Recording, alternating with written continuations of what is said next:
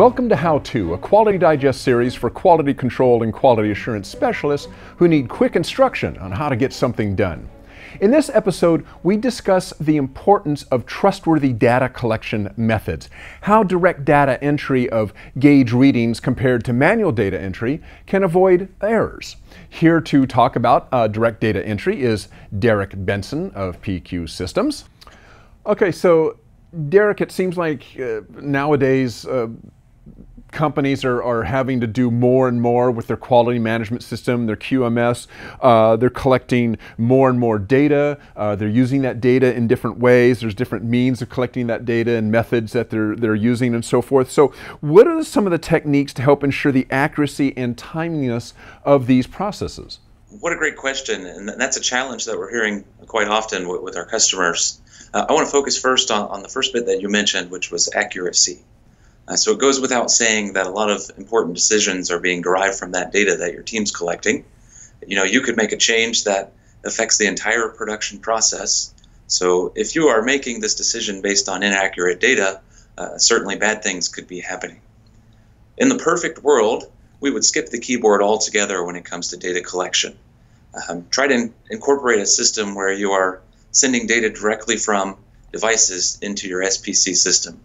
A couple examples would be, you know, calipers or micrometers, digital scales, uh, all the way up to more complex systems like CMMs or laser measurement systems. Now, we certainly understand that there are instances where a direct communication between devices isn't possible, and you just can't avoid keyboard entry altogether. Um, so, what we would recommend there is that you have a system in place for data validation, uh, that your SPC system is is checking has your back when it comes to typos and things like that.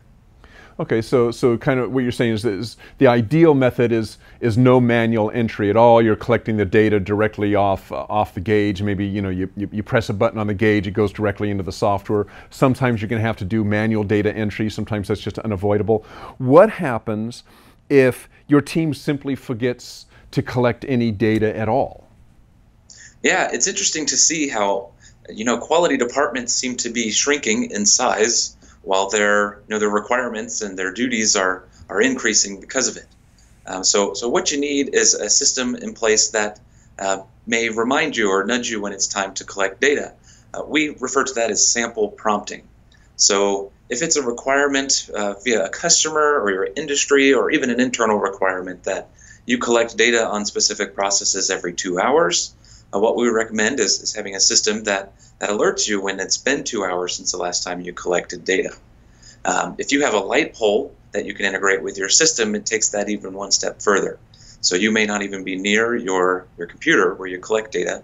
The light pole starts flashing and reminds you that it's time to get back and do some work. Oh, that's interesting. So, so, the, so, so there's some sort of visual representation that oh, you know, there's this yellow light or green light or something, red light, something flashing telling you, hey, it's time to it's time to go pick up some data from this point because we, we kind of get busy and we forget, is what you're saying. Yeah, absolutely. You know, those folks that are that are collecting the data for you are also running the machines. They don't they don't have time to sit in front of the c- computer all day waiting to collect data. You know, and finally, to go even one step further in your in your data collection system, um, if timeliness is particularly critical to you, um, set it up where you can get an email notification or, or someone there at the shop gets an email notification when a sample collection has been skipped just to make sure you guys are, re- are really taking care of those requirements. Okay, perfect. Well, thanks, Derek. Appreciate your time. Thanks, Dirk.